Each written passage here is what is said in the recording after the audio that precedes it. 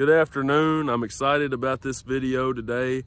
Going to be getting some drone footage of our McNairy County farmers for Mid-South Family Farms. They're coming down here today to get these beans behind me um, in Michigan City, Mississippi, northern Mississippi.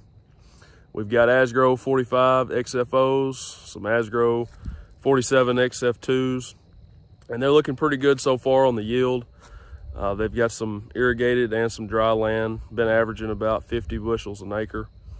So looking forward to seeing the yield that these behind me make, as well as showing you that drone footage and getting an up close look at just what they do and, and how they cut those beans.